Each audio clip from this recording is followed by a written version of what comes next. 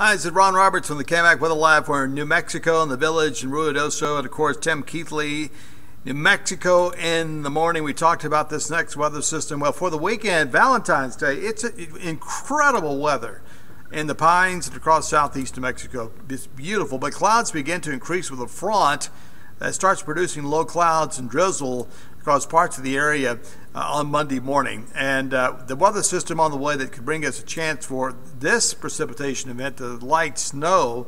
Uh, the models are drastically reducing the amount of precipitation and snow on Tuesday of next week, seeing zero there in the village area. So we'll have to keep an eye on that for you as well.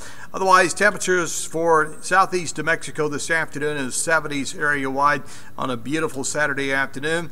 Uh, will cool with a backdoor front on the way, and that will somewhat take the temperatures down on Sunday. But uh, big contrast. You see Carlsbad at 77 degrees, and Childress will be cooler than Ruidoso. So the front on the way uh, by Sunday in Texas will move into our region Sunday night into Monday. Great Valentine's weekend weather. Enjoy it.